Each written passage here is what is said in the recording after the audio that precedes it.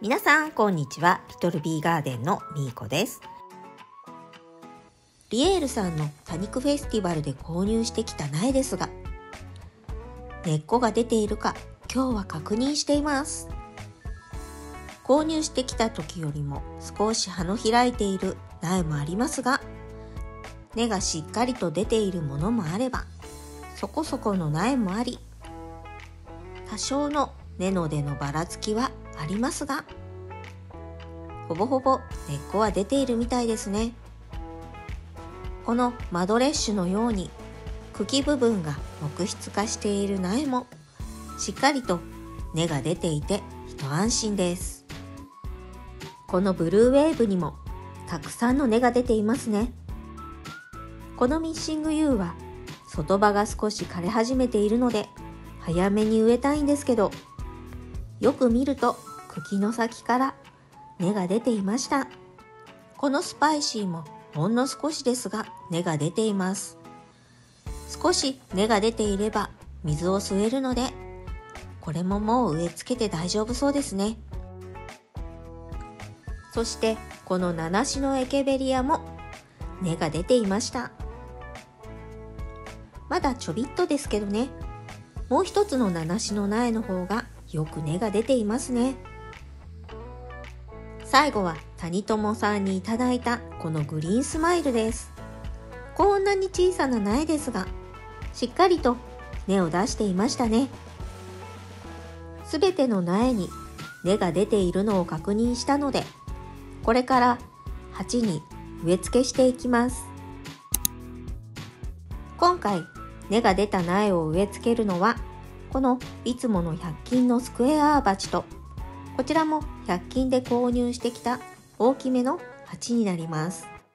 そしてこれはいつも植えている一番小さなスクエア鉢です。それと今回はリスナーさんが送ってくださったこのバスタブ型の鉢も使っていこうと思います。これリトルビーガーデンのロゴが入っていてお気に入りの鉢になっています。鉢底石にはヒューガの軽石を入れてみました。これは小粒になります。これからの季節は水はけを重視して鉢底石を多めに入れてみるのもいいかもしれませんね。今回使う土もリサイクルの土になります。この土は一度天日干しをして米ぬかと燻炭を混ぜたものになります。米ぬかが入ると土が発酵するため23週間置いてから土を使うようにしてくださいね。今回は大きめの苗から順番に植え付けをしていきます。この大きめの鉢に植えるのはピンクベラとブルーウェーブです。この2つの苗は今回購入してきた苗の中でも特に大きい苗でさらに大きく育てたいと思っているため一回り大きめの鉢に植えることにしました。苗をひっくり返して葉の裏側を見てみると葉がしわしわになっていて水を欲しがっていますね。後でたっぷり水やりしなくっちゃ。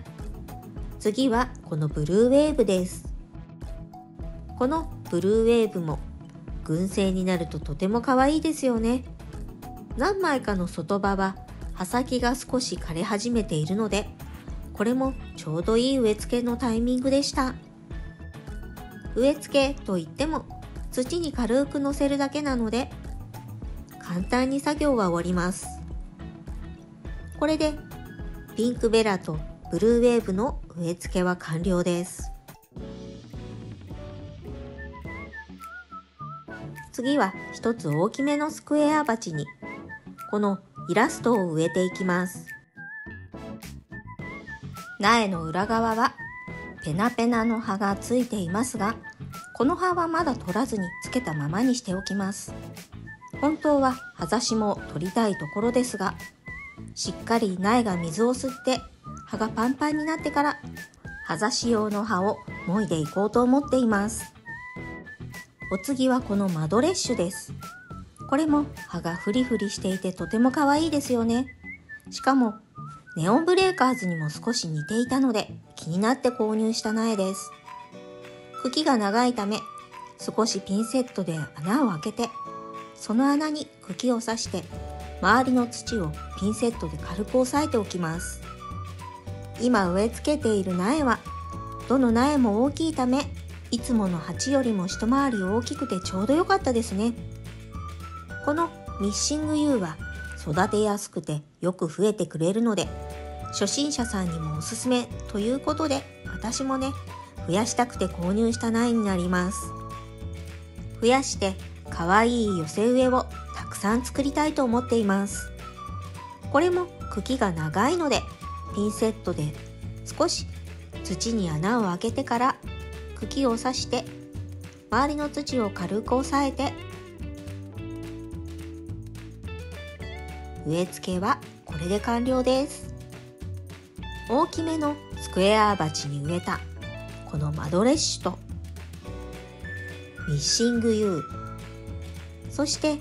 イラストです。鉢に植えるとまた一段と可愛さが増しますね。次はいつものサイズのスクエア鉢に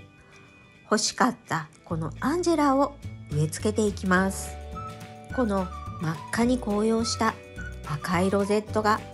とても素敵で憧れていた多肉です。今回お迎えできて本当に嬉しかったです。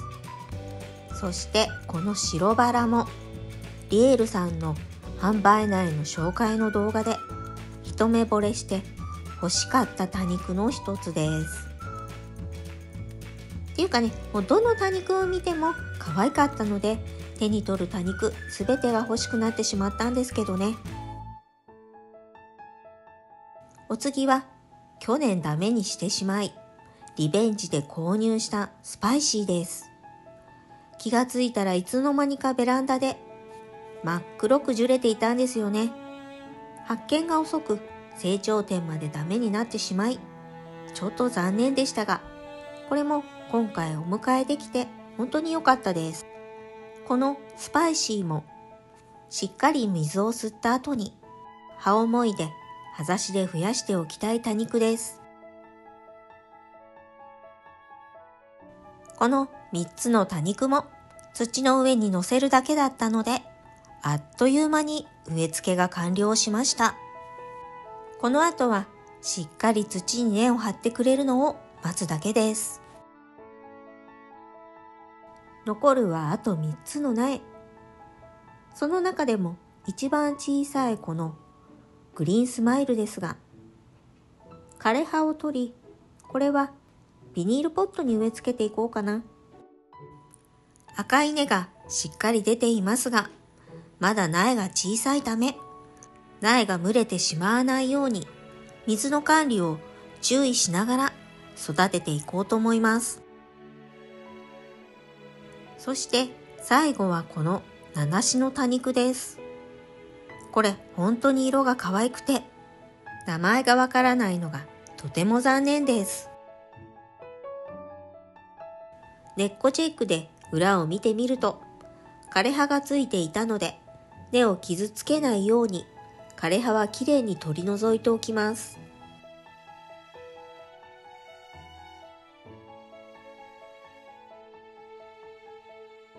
枯葉もきれいに取れたので、このままバスタブ型の鉢に植え付けていきます。そして最後に残ったこの七しの苗も先ほどの七しちゃんの隣に植え付けていきます。そしてここで注意ポイントが一つ。この苗のように色が濃いめの多肉植物は春になり一気に紫外線の量が増えると、葉焼けしてしまう可能性があるので要注意です。私もこれで、いくつ多肉をダメにしたことか。皆さんの育てている多肉植物も、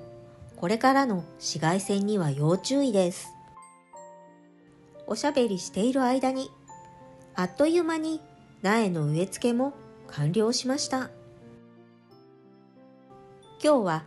2月18日にリエールさんの多肉フェスティバルで購入してきた苗を植え付けていきました。いかがだったでしょうか？そしてこのリスナーさんにいただいた鉢にはまた改めてセダムを植える予定でいます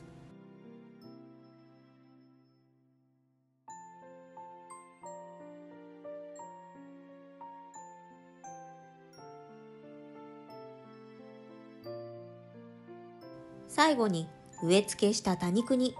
水やりをして今日の作業は完了です。春の多肉ごとは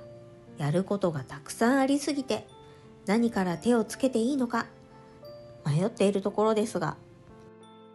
そういえばベランダで外葉をカリカリにしていたレインドロップスも植え替えしなくちゃいけないんですよね。とりあえずはあのレインドロップスから植え替えしていこうかなこの動画が良かったなって思っていただけたら高評価とチャンネル登録をよろしくお願いします。今日も最後までご視聴ありがとうございました。それでは次の動画でお会いしましょう。またね